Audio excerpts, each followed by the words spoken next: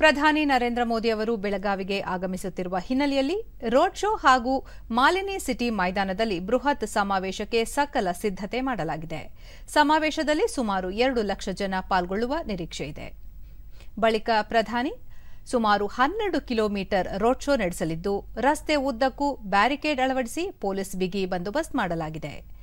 ಸಾರ್ವಜನಿಕರಿಂದ ಪ್ರಧಾನಿ ಸ್ವಾಗತಕ್ಕೆ ಅನುಕೂಲ ಮಾಡಿಕೊಡಲಾಗಿದ್ದು ವಿಶೇಷ ಎಂಟು ಕೇಂದ್ರಗಳನ್ನು ಸ್ಥಾಪಿಸಲಾಗಿದೆ. ಬೆಳಗಾವಿ ರೈಲು ನಿಲ್ದಾಣ ಶೃಂಗಾರಗೊಂಡಿದೆ.